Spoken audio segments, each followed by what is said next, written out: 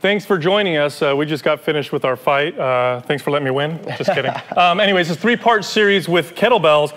Uh, the Turkish get up, super, super popular amongst MMA fighters, jiu-jitsu fighters. This is like the exercise uh, for that entire world. First of all, why? Why is that? Well, there's so many different ways you can use it. We're going to show a couple ways uh, with you today, but right now what I'm going to do is I'm going to show the one way I actually get up is I do the sit up and sweep first for it. So I'm actually thrusting my hips forward. So so this is mimicking like an actual fight. Yeah. So I'm actually using the kettlebell in the movement. There's little subtle differences. Like I normally push on someone's face versus actually just lifting the head, but it just mimics the fact that I'm holding a weight, like as if like I'm holding your body. Oh, I see. Okay. okay? So for here, I keep the arm extended. I keep my eye on the target. For me, the reason why I keep my eye on the target, so my shoulder doesn't get away from me. Mm-hmm. Okay. But the other thing as well, so I can see the punches coming. Oh. So it's, it's as if I'm pushing on your head or pushing on your neck so I can see where the punches are coming from. Excellent. So I sit up onto my elbow.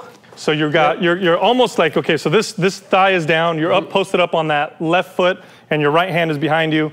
This is real important here. Because if this gets away from you, you're dropping that on your face. What you also have to remember is my arm bends a little bit, right? It makes it easier for the, my opponent to collapse my, my arm. So you want to lock in. it? Yeah, I want to lock him out. Once it's locked out, it's almost impossible for him to get past my arm. Okay. Okay. So um, from here, I'm posted up on my hand. This is as if I'm in my guard position. Mm-hmm. So I still have my guard position. He's still in between my legs. I sit up, and when I go to sit up, I can actually just sit all the way into him and sweep.